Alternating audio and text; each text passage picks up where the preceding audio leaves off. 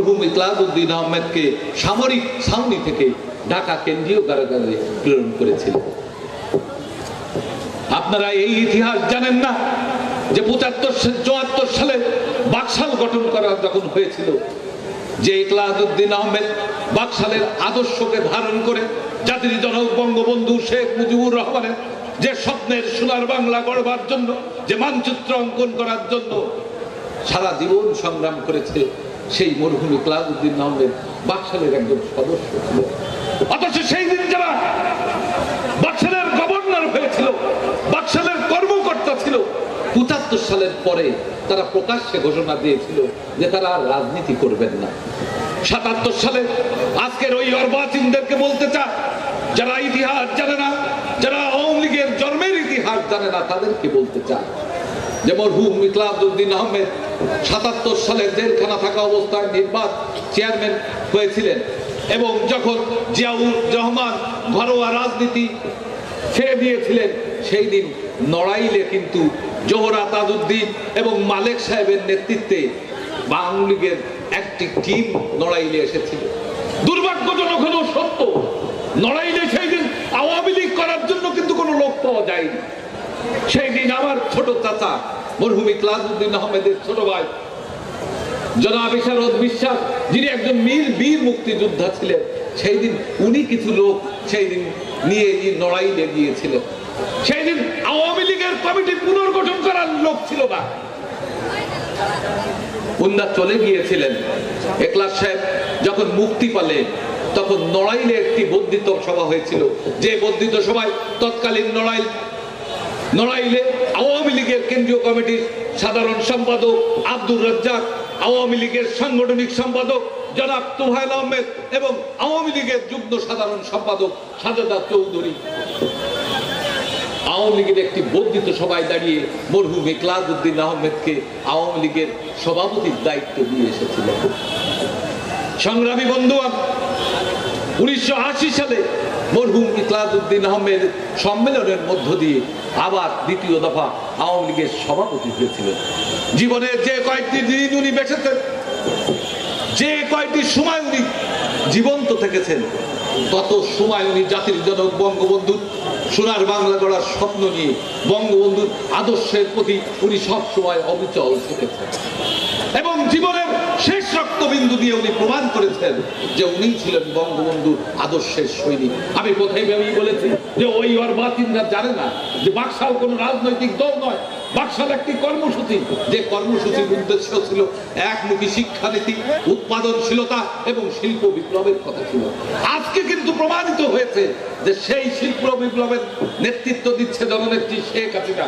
আজকে দুর্ভাগ্যজনক হলেও সত্য যে আজকে জাতির জনক বঙ্গবন্ধু শেখ মুজিবুর রহমান বাকশাল করা অবস্থায় কিন্তু উনি এই পৃথিবী থেকে চলে গিয়েছেন। তাহলে কি আমরা এই কথা বলব যে জাতির জনক বঙ্গবন্ধু শেখ মুজিবুর রহমান কোনোদিন আওয়ামী লীগ করতেন না? এই অর্বাচীনরা জানে না যে এরা কি বলছে। আমি কিন্তু বিস্মিত হয়েছি এই কারণে আজকে জননেত্রী শেখ হাসিনা, জাতির জনক বঙ্গবন্ধুর কন্যা জননেত্রী শেখ হাসিনাকে বাকশালী বলে গালি দেওয়া হয়। কারা এই বাকশালী বলে গালি দেয়? তারাই যারা একাত্তর সালের স্বাধীনতা বিরোধী শক্তি। তারাই বেগম খালেদা জিয়ার যারা প্রেতাত্মা। আপনারা দেখবেন তারেক জিয়া, খালেদা জিয়ারা শেখ হাসিনাকে বাকশালী বলে গালি দেয়। আমার ওই চব্বিশ তারিখের মঞ্চে দাঁড়িয়ে আমার মনে হচ্ছে যে ওরা কি বেগম জিয়ার প্রেতাত্মা? ওরা কি স্বাধীনতা বিরোধী শক্তির প্রেতাত্মা? আমার কাছে মনে হয়েছে আওয়ামী লীগ এমন একটি সংগঠন।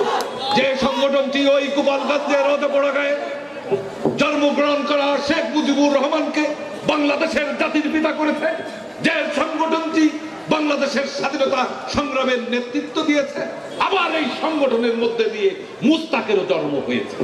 আমার কাছে মনে হয়েছে, এরা তারাই যারা এরা মুস্তাকের চক্র, মুস্তাকের প্রেতাত্মা, মুস্তাকের আদর্শকে বাস্তবায়ন করার জন্য আওয়ামী লীগের মধ্যে যেমন মুস্তাকরা ঘাটতি মরে পড়েছিল এরা তারাই যারা আওয়ামী লীগকে নিশ্চিন্ন করতে চায়।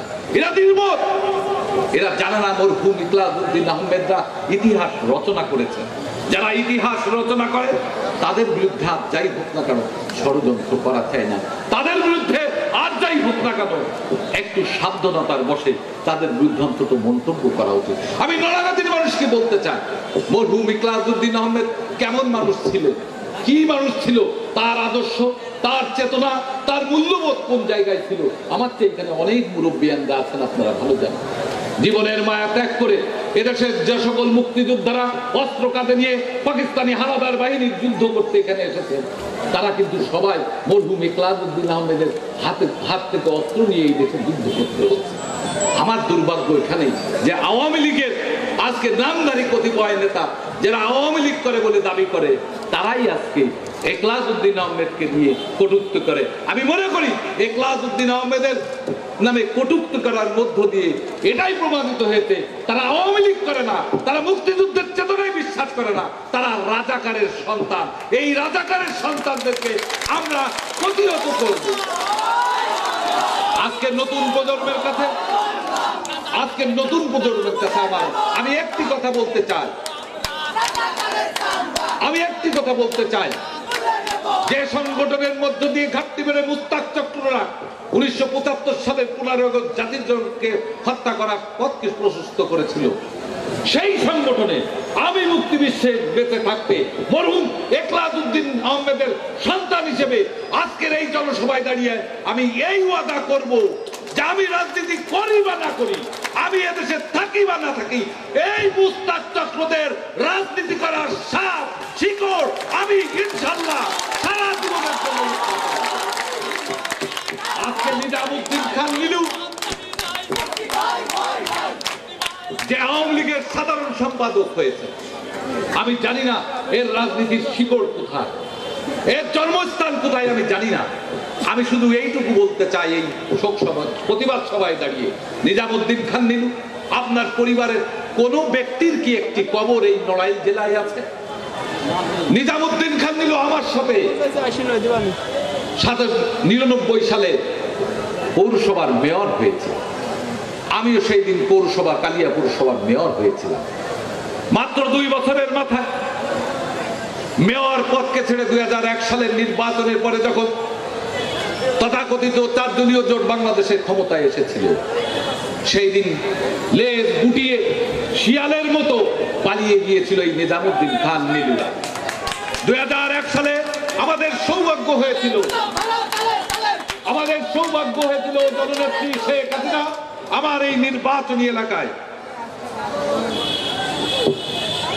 নির্বাচন উনি করেছিলেন।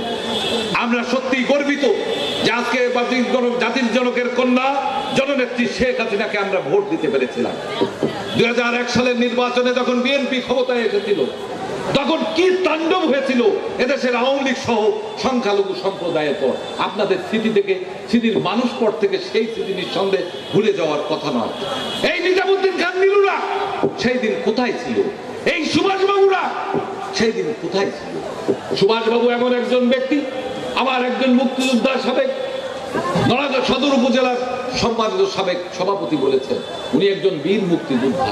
আমি যে কথা প্রায় বলে থাকি, যে উনিশশো একাত্তর সালের সেই প্রজন্ম যারা দেশ মাতৃকার জন্য অস্ত্র হাতে নিয়ে যুদ্ধ করেছিল, ওরা গর্বিত প্রজন্ম। এই ধরিত্রী যতদিন থাকবে, প্রজন্ম থেকে প্রজন্মান্তরে আমরা কিন্তু ওই দুর্লভ সুযোগ আর পাবো না। সেই সুযোগ যারা হাতে পেয়ে, সেই সুযোগকে যারা কাজে লাগায় না। যাদের মধ্যে কোনো দেশপ্রেম নেই। যারা জননী, জন্মভূমি স্বর্গতে গড়িয়েছে যাদের সামনে সেই স্লোগান দেই, এখন যৌবন যার মিছিলে দেওয়ার শ্রেষ্ঠ সময়। যাদের বয়স সেই দিন ষোলো থেকে আঠারো বছর ছিল। এই সুভাষবাবু কই? সুভাষবাবুরা তো কখনোই দেশ মাতৃকার জন্য অস্ত্র হাতে নিয়ে যুদ্ধ করেন। সুভাষবাবুরা আওয়ামী লীগ পঁচাত্তর সালের পরে আওয়ামী লীগ করা কত দুঃসাধ্য ব্যবহার ছিল, সুভাষবাবুরা জানে না। সেই দিন তো সুভাষবাবুরা আওয়ামী লীগের জন্য একদিন জেল খাটে নাই। সেই দিন তো নিজামুদ্দিন খান নীলুরা একদিনও জেল খাটে নাই। অথচ আওয়ামী লীগ যারা করেছে, যারা এদেশের অগণিত নেতাকর্মীরা নির্যাতিত, নিষ্পেষিত হয়েছে, তারা তাদের মনের মনিকোঠায় যে নেতাকে লালন করে, যে চেতনাকে লালন করে সেই চেতনাকে কিন্তু অসম্মান করেছে, অবমূল্যায়ন করেছে। আমি আজকের এই প্রতিবাদ সভায় দাঁড়িয়ে নড়াগাতির মানুষকে সামনে ওয়াদা করছি, আপনারা যদি আমার পাশে থাকেন, নড়াইলের মানুষ যদি পাশে পাশে থাকে, তাহলে এই মুস্তাক চক্র অবশ্যই ইতিহাসের আস্থা করে নিক্ষিপ্ত হবে ইনশাআল্লাহ। আমি পরিশেষে অনেক কথা বলার ছিল, অনেক জবাব দেওয়ার কথা ছিল। আমি শুধু এইটুকু বলব মফিজ আসলেই মফিজ। মফিজ পারে না এমন কোনো কথা বলার ওর কোনো মানে এমন কোনো কথা নাই যে ও বলতে পারে না। ও একজন রাস্তার ছেলে। যার পরিচয় নেই যার মামা বাড়ি কোথায় এই বাউসিনা ইউনিয়নের মানুষ আপনারা যারা আছেন আপনারা কেউ কেউ বুকে আসতে বলতে পারবেন যে ওর মামা বাড়ি কোথায়? যার জীবন শুরু হয়েছিল একটা গাবি তুলির মধ্য দিয়ে সেই মহিদ আজকে আমাদের জন্য দুর্ভাগ্য যে নড়াজাতি থানা আওয়ামী উনি সভাপতি হয়েছে তবে আমি ওয়াদা করছি যে এই মহিদ যতই আস্ফলন করুক, এই মহিদ যত কিছুই বলুক না কেন, আপনারা বিভ্রান্ত হবেন না। অচিরেই এর মুখোশ নিঃসন্দেহে উন্মোচন হবে।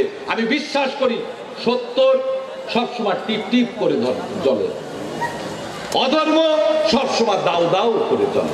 আজকে সেই দিন জনসভায় অনেক কথা বলেছে। মফিজ উপজেলা করবে মফিজ এই করবে। আজকে আওয়ামী লীগ সাড়ে ছয় বছর রাষ্ট্রীয় ক্ষমতায়। এই নড়াগাতির মানুষ। মফিজ একটি কলা গাছ লাগিয়েছে এই উদাহরণ আপনারা দিতে পারবেন। পারবেন?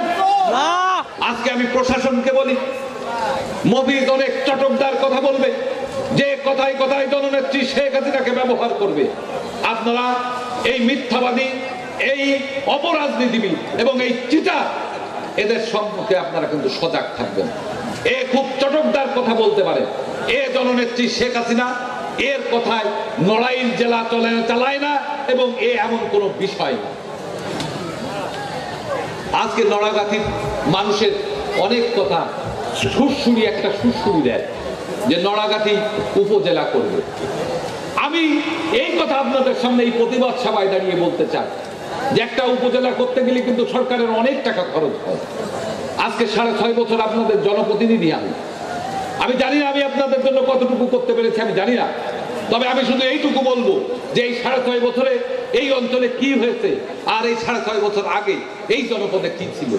আমি কথা দিয়ে যাচ্ছি, নড়াগাতিকে আমি উপজেলায় রূপান্তরিত করব করব করব আমার হাত ধরে আমার হাত ধরে এই উপজেলা হবে। সবাইকে ধন্যবাদ। জয় বাংলা জয় বঙ্গবন্ধু।